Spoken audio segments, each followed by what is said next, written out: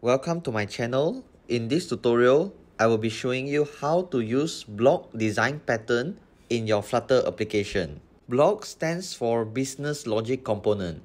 It is a design pattern that helps to separate presentation layer from business logic. While at the same time, Bloc uses provider as its state manager. So in today's tutorial, we will be using this Flutter bloc package which you can find in pub.dev. Go to installing and get the latest package dependency and add it in your project.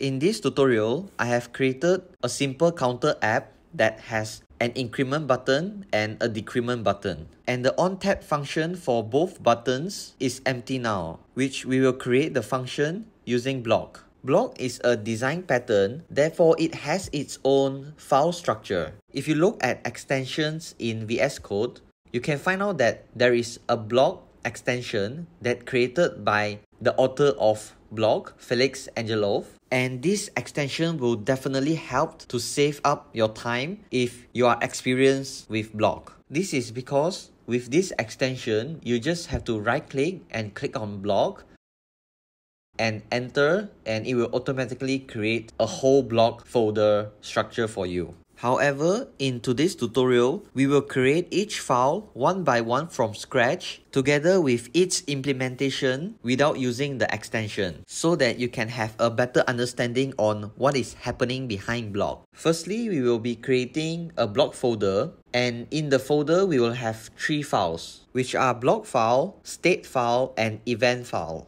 Event and state files are mainly for state and event initialization, while bloc file is mainly for function implementation. So this is the folder structure for bloc. You will get the same folder structure with using the bloc extension. So now let's start with event file. For this counter app, we have only two events, increment and decrement. And both events don't take any parameters. So it will just be a simple counter increment and counter decrement class that extends the counter event class. If you have events that takes any parameters, you should initialize in the class.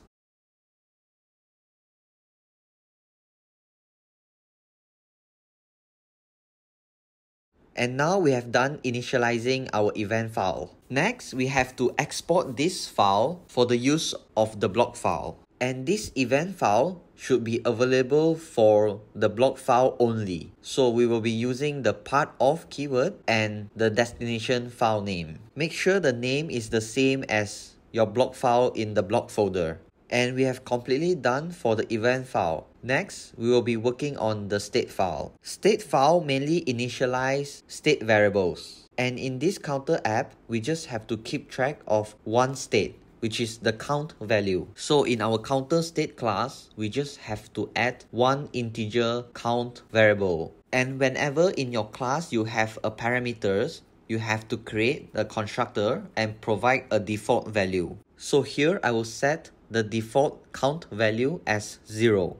Now we have to create a setter for the state class. The setter for the bloc state is called copy with. This setter function will take a count value and return a new counter state whenever it is executed.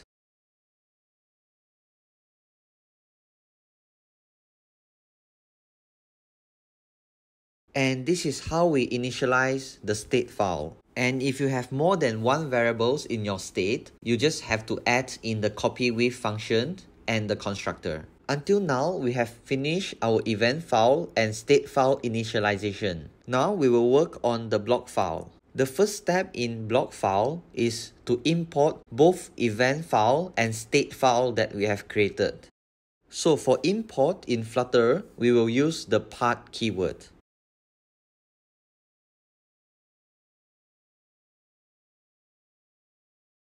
So there is an underlying error in importing the state file which tells that we might forgot to export the state file. So don't forget that you should export both event and state file. Now the error is gone. So for counter bloc class, it should extend bloc with the counter event and counter state that we have created.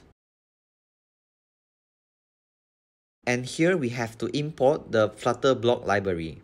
So whenever an instance of the counter bloc is created, it should initialize the counter state as well, which here in the super keyword, we will execute a counter state constructor. Next, we will be implementing the counter event by using the on keyword followed by the event name.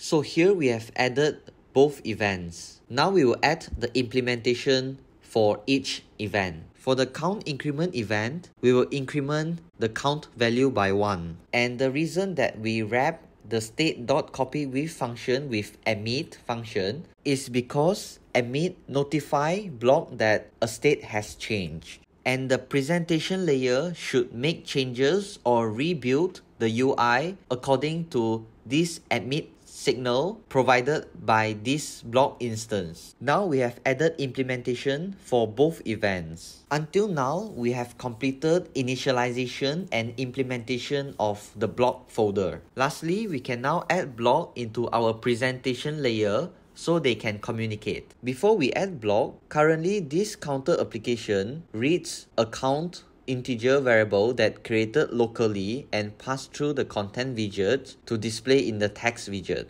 And now we are using bloc so we don't have to create the variables locally and pass through multiple layers. We can now access to the bloc state or events with the bloc instance. So in order to use bloc, firstly we have to create a bloc provider and this provider will create an instance of the counter bloc through its create function. In order to receive the state change emitted by the bloc event, there are a few bloc listener widget options to choose. And in this tutorial, I will use bloc builder. And this bloc builder widget should come after bloc provider widget, else you will get an error. This bloc builder provides a context and a state parameter. So in the text widget below that display the count value, we can access to the bloc state count value directly through state.count. Next, in the onTap function for the buttons, we will now execute bloc event. To call bloc event, we have to use context.read followed by the bloc name dot add followed by the event name. Same goes to the increment button.